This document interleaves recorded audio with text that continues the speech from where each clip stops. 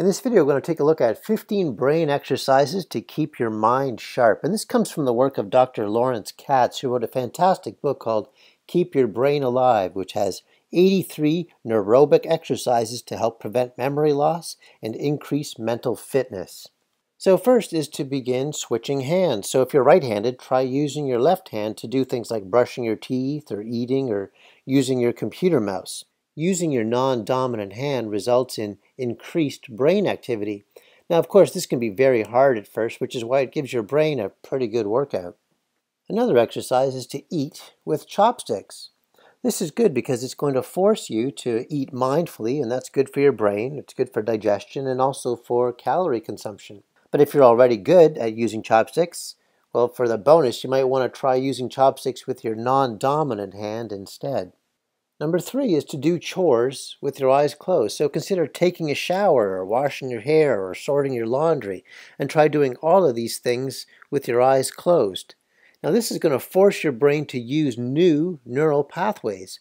Obviously you're not going to do stuff with your eyes closed that could put you or others in danger, but being able to do this is certainly going to be able to increase your brain activity in new ways. Fourth is to do stuff upside down or backwards. So you can stimulate your brain by looking at things upside down. So an easy one to start with is by wearing your watch upside down. Now this is going to force your brain to really think every time you glance at your watch. And you can also hang clocks or calendars upside down or even your phone. Or if you want to be extra brave and do something like Leonardo da Vinci, you can master the art of writing backwards, also known as mirror writing. And number five is to read books aloud. So you can do this by taking turns reading and listening to a book with your significant other, a friend, or a child. One of the earliest demonstrations of brain imaging clearly showed three distinct brain regions lighting up and engaging with blood flow when the same word was either read, spoken, or heard. Six is to take new routes. So on a routine commute, your brain is on autopilot and gets very little stimulation, but taking an unfamiliar route activates the cortex and the hippocampus. And you can also take new routes when walking or biking or riding public transportation.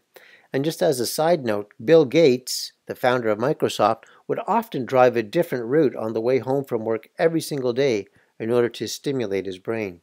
Seven is to simultaneously use all of your senses. So travel, camping, and gardening are high on Dr. Katz's list of activities that utilize your senses in new ways.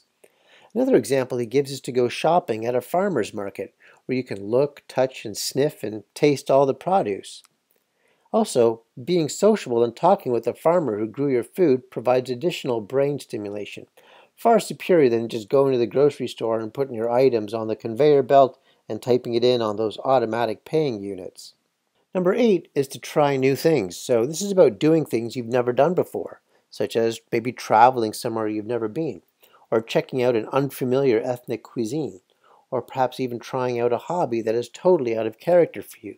So for example, if you're a heavy-duty weightlifter, perhaps doing something kind of relatively boring like knitting would be an excellent way to be able to train your brain in a new manner. So novel experiences trigger the release of dopamine, which is also known as the motivation neurotransmitter, and it can help to stimulate the creation of new neurons. Another one is to challenge yourself with mastery. So the only way to continue to stimulate your brain is to stay out of your comfort zone and be doing new things.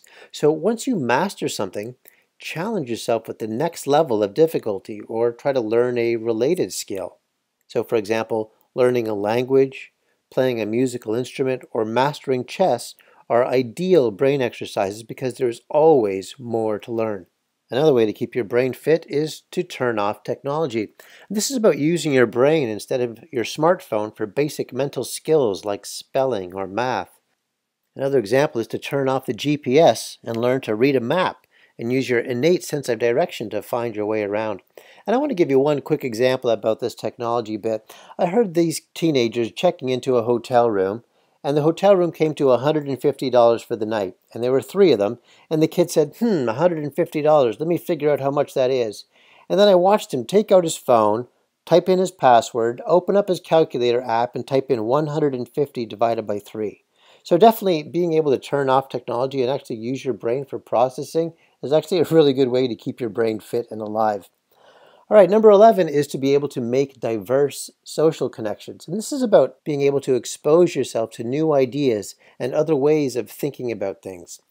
So your brain benefits from spending time with all kinds of different people. So this is why there's a benefit in intentionally seeking out others who have far different interests, careers, social or cultural environments. And this opens you up to new perspectives and ideas which will stimulate your mental growth. Another example, and this is no surprise for the subscribers of this channel, is to practice meditation. So this has been backed up by the Mayo Clinic, Harvard, and the National Institute of Health, who has shown massive benefits in meditation.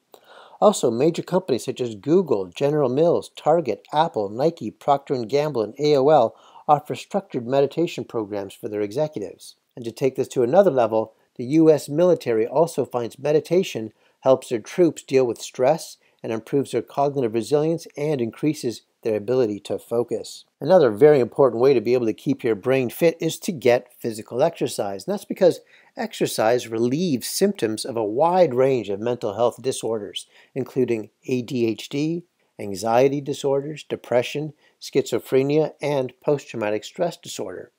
And also, to kick it up a notch, you might want to do some exercise outside because compared to indoor exercise, exercising outdoors increases vitality, enthusiasm, pleasure, and self esteem while lowering tension, depression, and fatigue. Another neurobic exercise is to take up a creative hobby. That's because hobbies can act as a natural antidepressant and may protect against brain aging. So these would be things like purposeful activities such as music, or drawing, meditation, reading, arts, and crafts, and doing home repairs specifically stimulated the neurological systems and enhanced health and mental well-being. And one last heavy-duty one I think is great for being able to keep your brain alive from the book by Dr. Lawrence Katz is to engage in lifelong learning. So to keep your mind eternally young, the best thing to do is stay curious about the world and to never stop learning.